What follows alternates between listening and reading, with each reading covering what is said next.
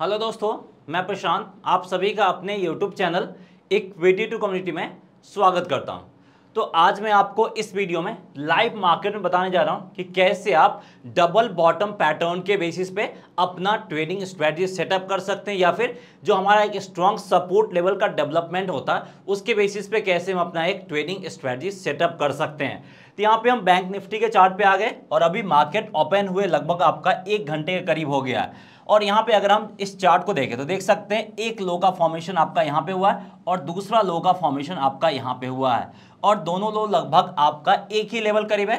तो यहाँ पे दोनों लो को ज्वाइन करते हुए अगर हम एक लाइन ड्रॉ करें तो इस तरीके से हमारा एक काफ़ी स्ट्रांग यहाँ पे सपोर्ट लाइन ड्रॉ होता हुआ दिख जाएगा। ये एक स्ट्रॉन्ग सपोर्ट लेवल बन जाएगा। और ये जो लेवल है ये हमारा है 39,200 का लेवल है। तो 39,200 का लेवल यहाँ पे हमारा एक स्ट्रॉन्ग सपोर्ट लेवल बन चुका है। और यहाँ पे अगर हम बात करें तो पहला बॉटम का फॉर्मेशन यहाँ पे हुआ है यानी ये बन गया आपका बॉटम वन और दूसरा बॉटम का फॉर्मेशन यहाँ पे हुआ है यानी बन गया आपका दूसरा बॉटम यानी यहाँ पे हमें clear cut double bottom pattern का हमें फॉर्मेशन देखने को मिला है लगभग आपका एक घंटे बाद बैंक निफ्टी में। और इसी के बेसिस पे यहाँ पे अपना ट्रेडिंग स्ट्रैटेजी सेटअप करने जा रहे हैं और वही मैं आपको लाइव मार्केट बताने जा रहा हूँ कि कैसे आप यहाँ पे ट्रेडिंग स्ट्रैटेजी सेटअप कर सकते हैं। तो यहाँ पे अगर हम बात करें तो सबसे पहले अभी जो मार्केट का सेंटीमेंट है, आपको स्लाइटली निगेटिव दिख रहा है, क्योंकि मार्केट यहाँ पे आपका काफ़ी ऊपर ओपन हुआ है और यहाँ से आपका नीचे साइड की तरफ़ जा रहा है। तो सबसे पहला ट्रेडिंग सेटअप क्या होगा कि अगर आपका ये स्ट्रॉन्ग जो सपोर्ट डेवलप हुआ है 39,200 लेवल पे। अगर इसको ब्रेक करके यहाँ पे नीचे साइड की तरफ़ जाता है तो यहाँ पे हम क्या करेंगे? सेल साइड की तरफ़ पोजीशंस इनिशिएट करेंगे और जो हमारा यहाँ पे टारगेट प्राइस होगा वो होगा आपका 39,000 का यानी 200 पॉइंट का यहाँ पे हमारा टारगेट प्राइस हो जाएगा।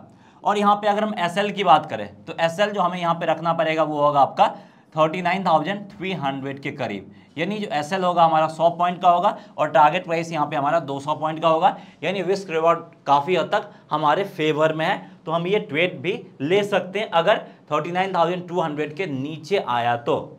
लेकिन अगर बाई चांस यहाँ से 39,200 के नीचे नहीं आया और यहाँ से अपसाइड मूव दिखाया तो हमें क्या करना होगा? क्योंकि हमें पता नहीं है कि मार्केट यहाँ से कहाँ जाएगा नीचे जाएगा या ऊपर जाएगा। तो हमें दोनों तरफ़ के मूव के लिए तैयार रहना पड़ेगा। तो नीचे साइड का मूव उम्मीद करते हैं आपको समझ में आ गया होगा। इसको हम क्लियर करते हैं। वापस से यहाँ पे हम अपना सपोर्ट लाइन ड्रॉ कर देते हैं जो कि आपका है 39,200 के करीब। तो यहाँ पे अगर यहाँ से ग्रीन कैंडल बनना स्टार्ट हो गया तो हम बाई साइड की तरफ़ जाएँगे। लेकिन हम वेट करेंगे कोई एक क्रूशियल लेवल ब्रेक होने का क्योंकि सेंटिमेंट निगेटिव है और जब तक कोई क्रूशियल लेवल ब्रेक नहीं होगा तब तक सेंटिमेंट पॉजिटिव नहीं आएगा। तो एटलीस्ट अगर ये 39,300 के लेवल को ब्रेक करके ऊपर निकलता है तो यहाँ पे हम बाई साइड की तरफ़ पोजीशंस इनिशिएट करेंगे। और जो हमारा एसएल होगा वो हमारा होगा 39,200 का यानी 100 पॉइंट का यहाँ पे हमारा एसएल होगा। और टारगेट प्राइस की अगर हम बात करें तो 39,500 ये हमारा टारगेट प्राइस हो जाएगा। तो यहाँ पे भी हमारा 200 पॉइंट का टारगेट प्राइस है और 100 पॉइंट का एसएल है। तो अब यहाँ में से दोनों में से जो भी कुछ होगा पहले अगर 39,300 के लेवल को ब्रेक करके ऊपर निकलता है तो हम बाई साइड की तरफ़ ट्रेड लेंगे। वहीं अगर ये 39,200 के लेवल को ब्रेक करके नीचे जाता है तो हम सेल साइड की तरफ़ ट्रेड लेंगे। दोनों तरफ़ हमारा 200 पॉइंट का टारगेट प्राइस है और 100 पॉइंट का एसएल है। यानी दोनों तरफ़ जो रिस्क रिवॉर्ड है वो काफ़ी हद तक हमारे फेवर में है। तो इस तरह का ट्रेड सेटअप हमें किसके बेसिस मिला? हमें इस तरह का जो ट्रेड सेटअप मिला है, वो आपका डबल बॉटम पैटर्न के बेसिस पे मिला है। यहाँ पे देख सकते हैं डबल बॉटम का फॉर्मेशन हुआ है। उसके बेसिस पे यहाँ पे हमें इस तरह का ट्रेड सेटअप मिला है। और जब भी आपका डबल बॉटम का फॉर्मेशन होता है तो एक स्ट्रॉन्ग सपोर्ट डेवलप होता है और उसके बेसिस पे हम डाउन साइड या अप साइड किसी भी तरफ़ हम ट्रेड ले सकते हैं। और काफ़ी सटीक ट्रेड यहाँ पे हमारा बनता हुआ दिखा है, जैसे कि यहाँ पे हमने देखा है। तो यहाँ पे अब आपसे मैं थोड़ी देर बाद मिलता हूँ जब आइधर ये 39,200 के लेवल को ब्रेक करके नीचे आएगा या फिर 39,300 के लेवल को ब्रेक करके ऊपर जाएगा। यानी किसी भी तरफ़ अगर हमारा ट्रेड बनता है तो आपसे उसी टाइम पे मिलते हैं थोड़ी देर बाद। तो यहाँ पे हम वापस से चार्ट पे आ गए और अभी टाइम हो रहा लगभग आपका बारह बजे करीब। तो यहाँ पे हम चार्ट पे वापस से क्यों आए? यहाँ पे एक चीज़ मैं क्लियर कर देना चाहूँगा देख सकते हैं। हमारा जो एसएल था वो कहाँ पे था? 39,200 करीब था। और हमने जो बाइंग पोजीशंस इनिशिएट किया था जस्ट 39,300 के ऊपर निकलते यानी आप यहाँ पे बोल सकते हैं कि 39,325 के करीब यहाँ पे हमने अपना बाई पोजीशंस इनिशिएट किया था। एक्चुअली हम इसे नीचे ही करते लेकिन हमने एक ये लेवल ले लिया है। अब उसके बाद क्या हुआ? यहाँ पे देखिए प्राइस आपका थोड़ा सा ऊपर गया 39,400 करीब गया और वहाँ से नीचे गिरना स्टार्ट हो गया है। अब यहाँ पे क्या होगा? ये नीचे गिरते हुए आया जो और हमारा एस एल था जहाँ पे, उसके करीब आ गया है। अब जैसे इसके करीब आया होगा, लोगों में यहाँ पे फियर जनरेट हो गया होगा और बहुत सारे लोग यहाँ पे डर के मार्केट से एग्जिट भी कर गए होंगे मार्केट से निकल भी गए होंगे।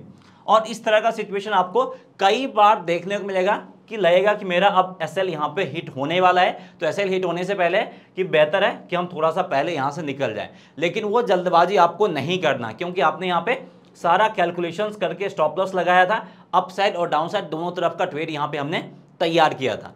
अगर मेरा यहाँ पे एसएल हिट होता है तो होने दीजिए, हम नेक्स्ट ट्रेड से हम अपना प्रॉफिट निकाल सकते हैं या फिर उसको हम रिकवर कर सकते हैं, लेकिन इस ट्रेड में हम कोई चेंजेस नहीं करेंगे। और यहाँ पे जो भी लोग डर गए होंगे, वो मार्केट से बाहर निकल गए होंगे, और उसके बाद देखिए, वापस से मार्केट आपका ऊपर जाना स्टार्ट कर दिया, यानी हमारा बाइंग प्राइस के करीब वापस से मार्केट आ गया। तो हमें यहाँ पे डरने की ज़रूरत नहीं है। अगर एस एल हिट होता है तो हम यहाँ पे होने देंगे। नहीं तो टारगेट प्राइस हिट होता है तो हम उसको भी होने देंगे। हम यहाँ पे कोई जल्दबाजी नहीं करने वाले।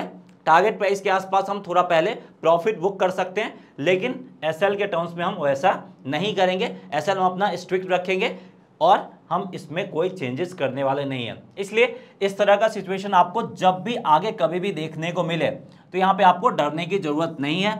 आपने अपना स्टॉप लॉस वेल कैलकुलेटेड रखा है सो उसमें कोई चेंजेस करने की ज़रूरत नहीं है। तो यहाँ पे आपसे वापस से थोड़ी देर बाद मिलते हैं जब आइधर ये मेरे एसएल यानी 39,200 के लेवल को हिट कर दे या फिर जो हमारा टारगेट प्राइस है ये 39,500 उसको हिट कर दे दोनों में से कोई एक लेवल को हिट करेगा तब मैं आपसे यहाँ पे मिलता हूँ।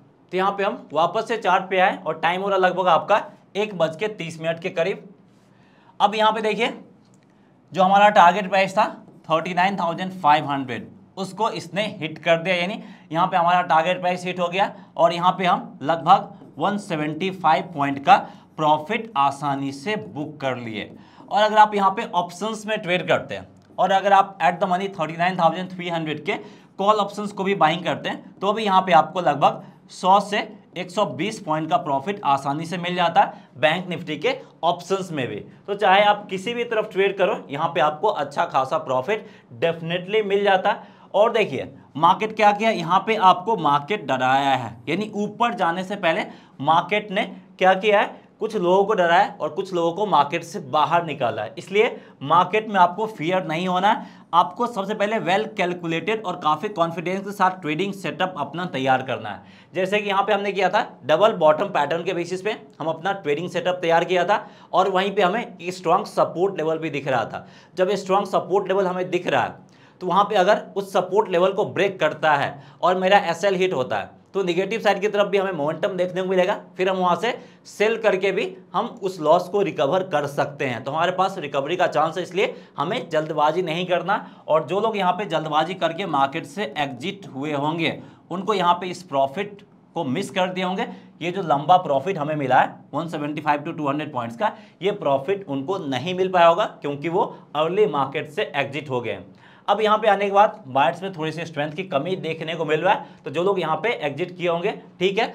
नहीं तो इस लेवल पे हमें डेफिनेटली एग्जिट कर लेना चाहे 39,475 हो या फिर 39,500 हो।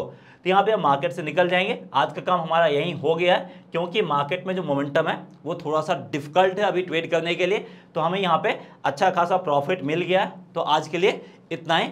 बाकी अगर कुछ ऐसा ट्रेड सेटअप आगे भी बनता है कुछ ऐसा पैटर्न बनता है, या फिर कुछ ऐसा हमें इंडिकेटर्स के बेसिस पे कुछ मिलता है तो आपके साथ शेयर करेंगे।